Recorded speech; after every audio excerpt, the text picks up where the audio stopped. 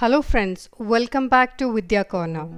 In my previous video, I have mentioned about ICAR recognized three central agricultural universities and four deemed universities.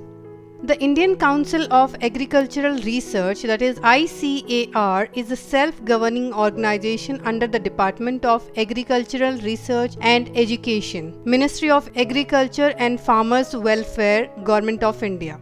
This council is the apex body for coordinating, guiding and managing research and education in agriculture in India. With 101 ICAR institutes and 71 agricultural universities spread across the country. This is one of the largest national agriculture systems in the world.